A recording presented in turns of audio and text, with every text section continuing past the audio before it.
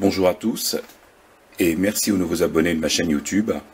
Aujourd'hui, je vais vous parler d'un accessoire que presque tous les tireurs à l'arme d'épaule utilisent. Il s'agit du bipied.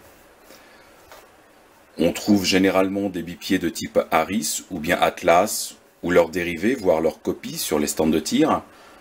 Et là, lors du salon IWA en mars dernier, j'ai fait la connaissance de monsieur Heinrich Formeyer, qui m'a euh, prêté ces deux bipieds. Donc comme vous pouvez le voir, c'est du costaud, c'est du massif. On verra ensuite euh, le poids qui est assez conséquent. La particularité de ces bipieds, c'est que par exemple, le modèle de droite va se monter au-dessus du canon via une interface Picatinny et le modèle de gauche va se monter sous le canon, toujours via une interface Picatinny. En arrière-plan, je vous ai mis mon AR10, ou plutôt mon NEA 25 en 308. Le témoin de chambre vide a été inséré, il n'y a pas de chargeur, l'arme est en complète sécurité. Avant de procéder au montage du bipied sur l'arme, voyons voir un petit peu les caractéristiques. Je vais commencer par le bipied qui va se monter au-dessus du canon. Donc nous avons deux branches qui sont escamotables en trois positions. Position fermée vers l'avant. Pour ouvrir les branches, il faut que je tire vers l'avant et ensuite je fais pivoter et ça va se mettre dans le cran ici. Voilà. Il n'y a aucun jeu mais vraiment aucun jeu. Je peux aussi fermer le bipied en le mettant vers l'arrière.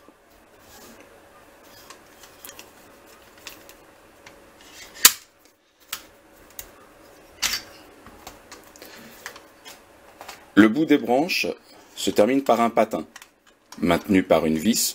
On peut régler la tension de la vis via une clé Allen une échancrure est d'ailleurs prévue juste ici pour pouvoir insérer la clé et faire en sorte que le patin puisse bouger librement ou bien de manière un petit peu plus dure.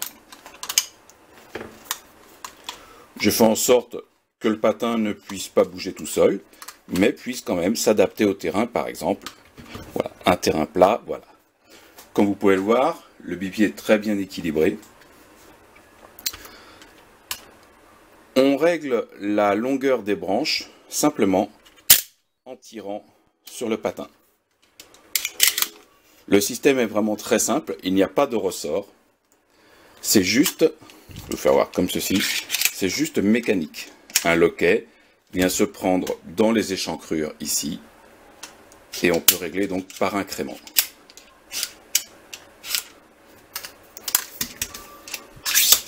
Je vous mettrai en lien les hauteurs maximum et minimum. Rappelez-vous, ce modèle de bipied que je suis en train de manipuler, manipuler pardon, est fait pour être mis au-dessus du canon.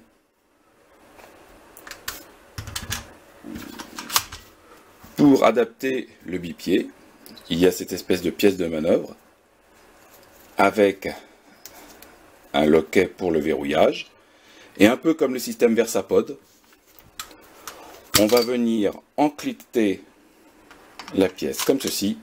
Ça y est, c'est verrouillé. Pour libérer, il faudra appuyer ici et la pièce se retire. Lorsque la pièce de manœuvre est insérée dans le bipied, il y a un léger jeu qui permet de compenser un dénivelé du terrain, par exemple. Si vous voulez limiter ce jeu, il vous suffit d'utiliser la clé, serrer très légèrement et voilà, il n'y a plus de jeu. Par contre, vous ne pourrez pas retirer le bipied de la pièce de manœuvre. Voilà, en desserrant légèrement, on rend ceci tout à fait plausible. Pesons les deux bipieds. Donc ma balance est allumée. Je vais vérifier que mon poids de 50 grammes, oui, ça affiche bien 50 grammes. Donc elle est bien tarée. Je mets d'abord le bipied qui se monte sur le canon avec la pièce de manœuvre, bien sûr. ça m'indique 710 grammes. Donc 710 grammes pour le bipied qui se met sur le canon. Voyons voir le modèle qui se met sous le canon. 687 grammes. À 30 grammes près, euh, c'est approximativement la même chose. Voyons voir l'encombrement du bipied sol.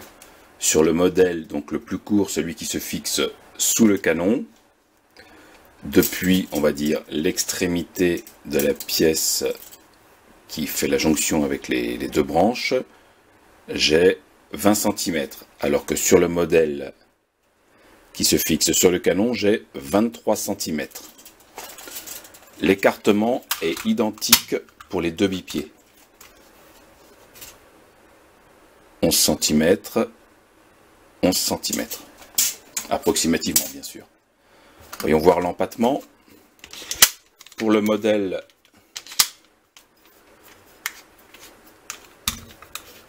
qui se fixe sous le canon, branche repliée, j'ai un empattement de 28 cm.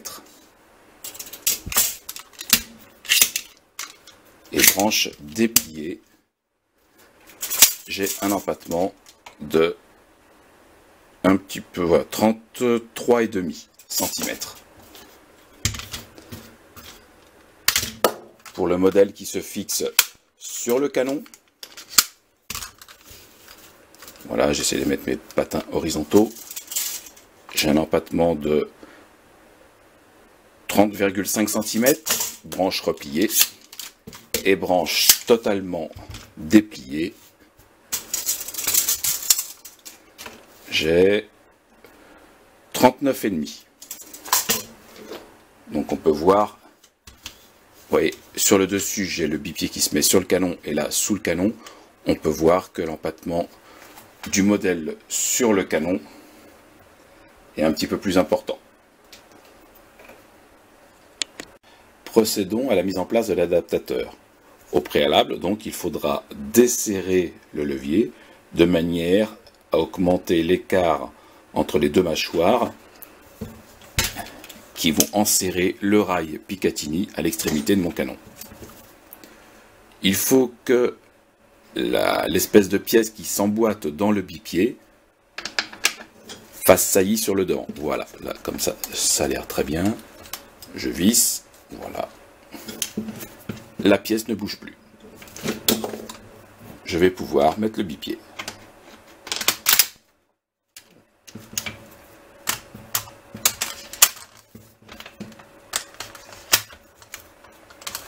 Je règle mes patins.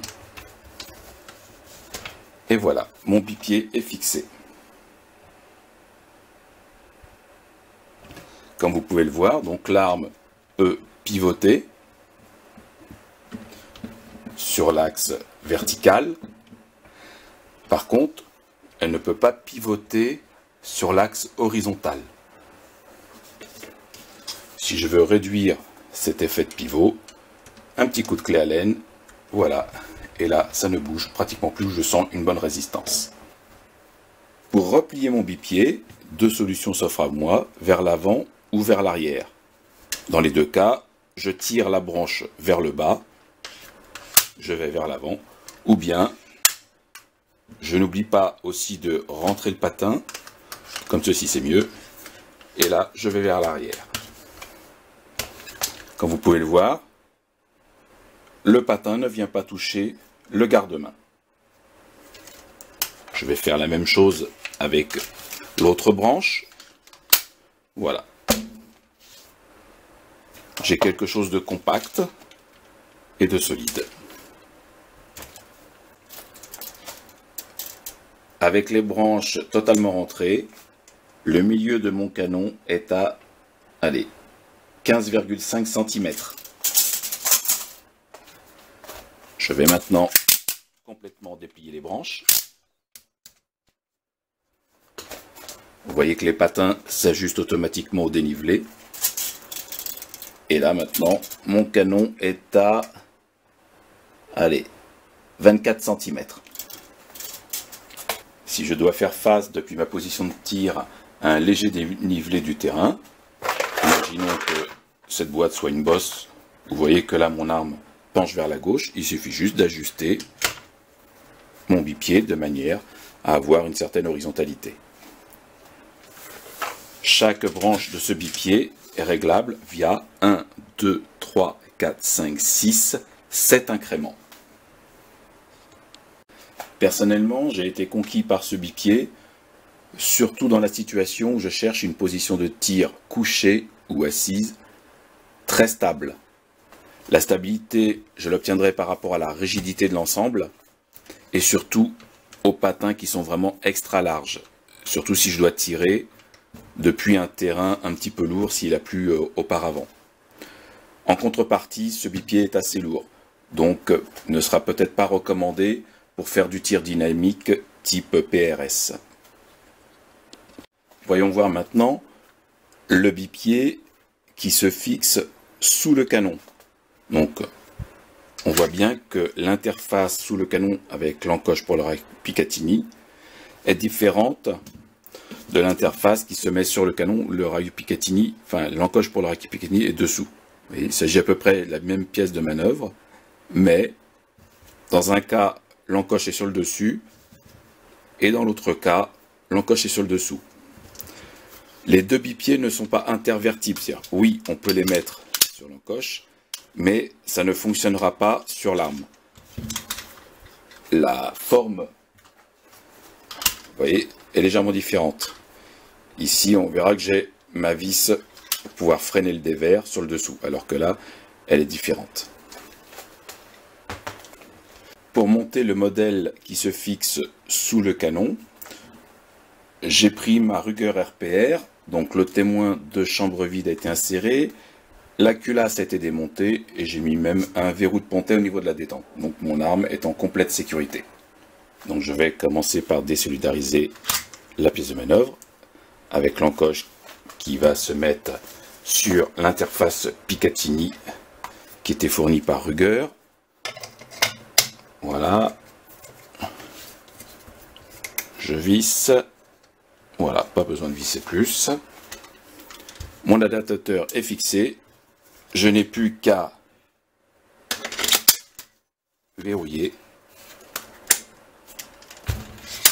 et ouvrir les deux branches de mon pipier. Vous voyez qu'il y a toujours ce jeu dans l'axe euh, pivotant autour de l'axe vertical. Il suffit juste de resserrer ici. Voilà. Et là, maintenant, je sens que c'est un petit peu plus dur, je resserre encore un petit peu. Voilà, et là ça bouge pratiquement plus. Ou alors il faut que je force un peu. Pour replier mon bipied, j'ai le choix de replier le bipied vers l'avant ou bien vers l'arrière.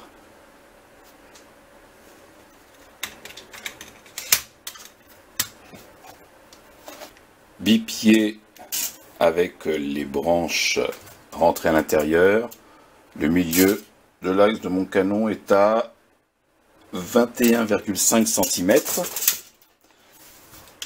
Si je déplie complètement mes branches, un petit peu plus horizontal, ce sera plus pratique.